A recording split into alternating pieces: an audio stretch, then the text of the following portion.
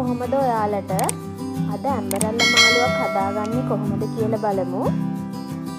ඉස්සවම කපාගත්තු ඇම්බරල්ලකට ලූුණු අම්මිරිස් එකතු කරගන්න. ඒ වගේම සුදුලූුණු එකතු කරගන්න. දැන් රම්පේ හරපිංච එකතු කරගන්න.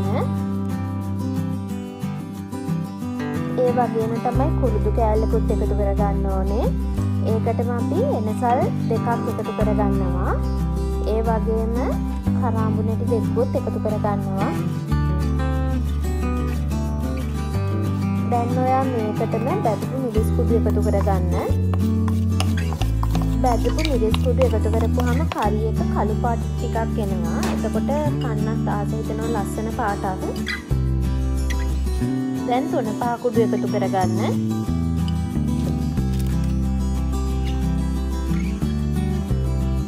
ඒකටම කහකුඩු ටික්කුත් එකතු කරගන්න.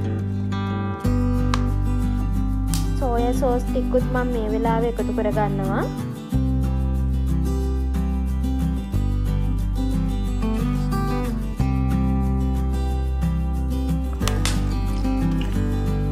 ඒත් එක්කම ලුණුත් එකතු කරගන්නවා. දැන් මේ ටික ඔක්කොම හොඳින් කවලං කරගන්න. කවලං කරගන්න තරමට පැහැලි හැම එකටම මේ තුන පහ කුඩුවල එහෙම රස ගිහිල්ලා රස ගොඩක් වැඩි වෙනවා. කවලං කරලා මං තෙල් තාච්චිය ලිපේ තියාගන්නකන් ටිකක් වෙලා පැත්තකින් තියාගන්නවා මේක. දැන් තාච්චිය ලිපේ තියාගෙන ලිප ඔන් කරලා ඔයාලා මේකට තෙල් එකතු කරගන්න.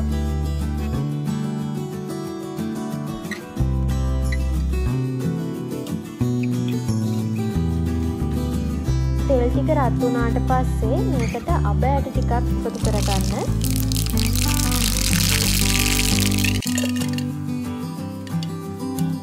අඹයට ඔක්කෝම පිපුරුණාට පස්සේ ඔයාලා පැත්තකින් කවලං කරලා තියාගත්තු ඇම්බරල්ල ටික මේකට එකතු කරගන්න. ඇම්බරල්ල ටික ඔක්කෝම එකතු කරගත්තට පස්සේ මේ ටික තෙල් එකේ හොඳින් කවලං කරගන්න. දැන් කලින් ඔයා ඇම්බරල්ල ටික කවලං කරගත්තු භාජනය තියෙනවනේ. ඒ භාජනයටම වතුර ටිකක් එකතු කරගන්න. එකතු කරගෙන ඒ වතුර ටිකත් මේ මාළුවටම දාගන්න. ඇම්බරල්ල කියන්නේ ටිකක් ඇඹුල්නේ. ඉතින් ඒ හින්දා දැන් මේකට අපි සීනි ටිකකුත් එකතු කරගන්නවා. දැන් සීනිත් ඔයා දාගන්න මේකටම. සීනිත් දාලා ටිකක් වෙලා අයත් හොඳට කවලං කරගන්න.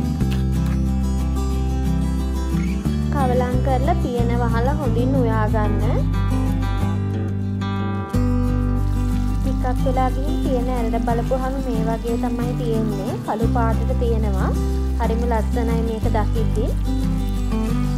මන් තවත් ටිකක් වෙලා මේක තැම්බෙන්න තියෙනවා. වතුර ගතිය ටිකක් වැඩි දැන් ආපහු බලද්දී විනාඩි 10කට විතර පස්සේ තමයි මේ තියෙන්නේ.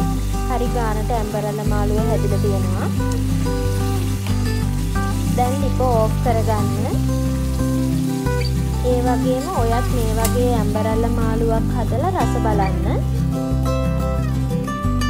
මගේ වීඩියෝ එක බැලුවට බොහෝම ස්තුතියි. නැවත මේ වගේ වීඩියෝ එකකින් හමුවෙමු මේ වගේ තවත් වීඩියෝ එකක් මං ඇරගෙන එන්නම්.